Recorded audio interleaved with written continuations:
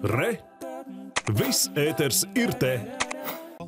Bet jau tagad ir skaidrs, lai par kādiem ierobežojumiem valdība rīt vienotos, šie Ziemassvētki nebūs tādi kā ierasts. Cilvēki gan atzīst, ka svētku sajūta gaisā virmo tik un tā, un it īpaši dodoties apskatīt pilsētu svētku rotājumus. Kā šogad izgaismota ogre, stāsta Dāvids Freidenfelds. Lai gan mazākā radulokā cilvēki atzīst, ka piparkūks un pīrāgus ceps tāpat kā citus gadus.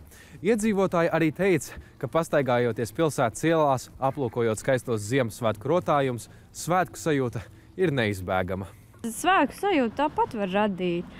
Mājās cepsim piparkūkus, pušķosim eglīti un būs.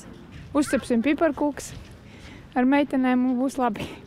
Šogad, rotājot pilsētu ielas, pašvaldības īpaši pacentušās. Cilvēki priecājās par gaišajām ielām, un ir arī tādi, kas dodas aplūkot pilsētas visā Latvijā. Tiesa šaurā ģimenes lokā, ievērojot distancēšanos un kafejnīcu apmeklēšanas vietā, ņemot līdzi no mājām termosu ar siltu tēju. Forši, Jā, ļoti forši. izgaismoti. Apbraukājām Latvijas eglis, skatāmies. Brīvdienās mēs bijām Ventspils tā puse, visi liepāja kurzeme. Tagad atbraucām uz robežiem, uz baznīcu un atskrējām arī līdz ogrei apskatīties. Gribās jau to svētku sajūtu noķert. Vakar egli pārvedām mājās, paši braucām uz audzētavu pakaļ eglītē, vai ne? Eglīti izrotāta un tā jau noskaņa ir. Cilvēku svētkus svinēs tik un tā.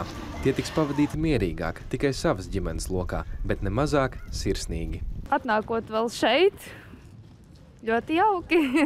nu, šogad pamierīgo mājās ar savējiem, kā tas savādāk. Skaistas, ļoti skaistas. No Rīgas atbraucam, jā, ļoti, ļoti brīnišķīgi.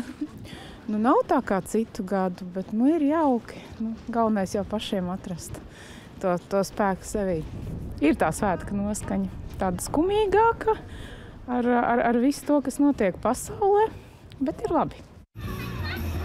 Dāvids Frenenfelds, Ivans Milovs, Latvijas televīzija.